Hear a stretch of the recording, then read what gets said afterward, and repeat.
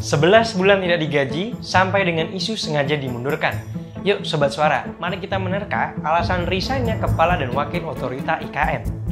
Pak Presiden juga menerima surat permohonan pengunduran diri dari Bapak Bambang Susantono sebagai Kepala Otoritas IKN.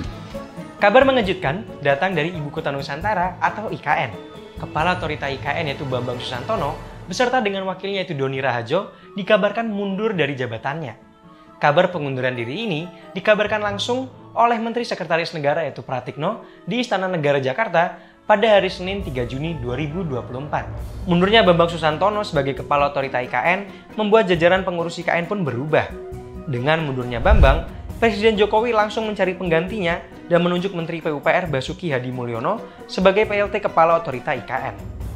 Pratikno selaku Menteri Sekretaris Negara mengungkapkan bahwa Bambang dan Doni tidak mengungkapkan alasan mengapa ia mengundurkan diri dari jabatan sebagai Kepala dan Wakil Kepala Otorita IKN.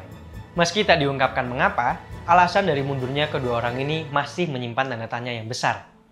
Namun ada dugaan kuat bahwa alasan dari mundurnya kedua orang ini dikarenakan masalah gaji dalam rapat dengar pendapat atau RDP antara Kepala Otorita IKN dengan Komisi 2 DPR RI yang berlangsung pada 3 April 2023, Bambang Susantono pernah menyebut bahwa ia mengeluh karena gajinya tidak turun selama 11 bulan. Eh, kami harus jujur menyatakan bahwa kami masih menunggu perpres tentang hak keuangan eselon 1 dan uh, turunannya. Kalau boleh jujur juga, saya dan Pak Doni juga butuh waktu 11 bulan hingga kami mendapatkan uh, salary kita yang sebagai pekerja biasa aja mungkin satu bulan nggak turun udah pusing, ini 11 bulan. Tidak sampai di situ Sobat Suara, aku kasih tahu fakta yang lebih menarik bahwa gaji dari kepala dan wakil otorita IKN ini mencapai 3 digit atau ratusan juta. Mencapai 3 digit. Jadi teman-teman bisa bayangin betapa banyak uang yang belum diturunkan untuk menggaji mereka. Di sisi lain, politisi PDI Perjuangan yaitu Deddy Yefri Sitorus menganggap mundurnya Kepala Badan Otorita Ibu Kota Nusantara yaitu Bambang Susantono bukan karena mengundurkan diri, tapi terpaksa dimundurkan. Menurutnya, hal itu terjadi lantaran mereka tak memenuhi target. Seperti hingga kini, belum ada satu investor pun yang sudah memberikan kepastian untuk melakukan investasi di IKN, serta masalah pertanahan atau status tanah tak kunjung selesai hingga muncul konflik di IKN.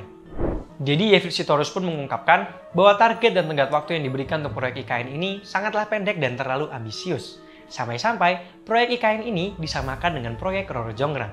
Hmm, menurut Sobat Suara, kira-kira alasan apa yang mengakibatkan kedua orang ini mundur dari jabatannya? Yuk, komen di bawah.